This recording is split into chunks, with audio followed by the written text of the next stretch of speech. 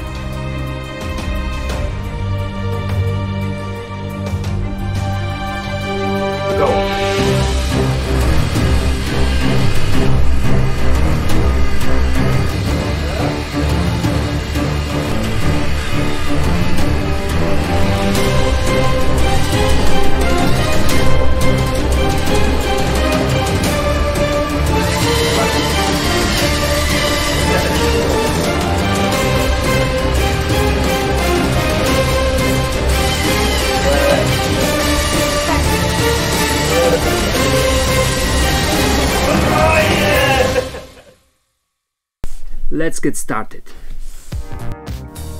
I will use the code which I have presented with color sensor. After starting, I broadcast a message go. Receiving this message turns two motors on with 30% of power. When brightness is smaller than 8, motor A changes the direction of rotation for 1 second and broadcast message go. Let's add support for distance sensor. When distance is smaller than 5, I broadcast a message go to. Receiving this message turns two motors on with 100% of power. We tune the robot by changing this time and distance.